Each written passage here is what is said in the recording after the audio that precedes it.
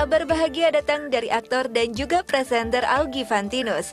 Dirinya resmi melepas masa lajangnya dengan menikahi presenter cantik Adriana Bustami pada 1 Maret 2014 di Pulau Dewata, Bali. Ketegangan pun sangat dirasakan olehnya di saat menjalani proses pernikahan. Bahkan saat pemberkatan, pria yang gemar bermain basket itu pun sempat meneteskan air mata.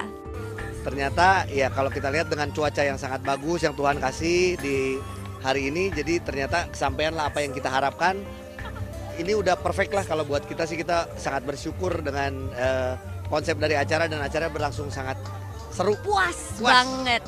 Karena satu kita lagi ada di Bali gitu. Jadi kalau di Bali tapi dalam ballroom sih ya ngapain juga ya mendingan di Jakarta gitu. Cuman eh, satu kita nyari tempatnya juga yang pas depan pantai. Depan kita juga ada ada ada gunung ada Iya. wah pokoknya macam-macam semua tuh menyatu. Jadi kita pilih ini supaya kita bisa menikmati semuanya dalam Betul. satu saat gitu Betul. ya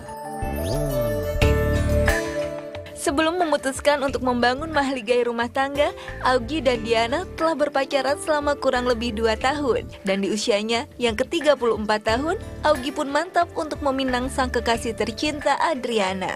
pengennya sih kita cepet dikasih momongan terus juga eh, ya pengen kan ya mau Uh, dong mau banget tuh makanya jadi apalagi kita dikelilingi sama ada lima pasangan nih yang undangan yang sekarang ada yang bisa hadir ada pun enggak semuanya sekarang sedang hamil. Jadi kita sih melihatnya bahwa mudah-mudahan Ah, ini pertanda baik. pertanda baik buat kita supaya Diana langsung gua eh gitu langsung apa tuh maksudnya? Nggak eh eh aja ya pasti bunyikan eh.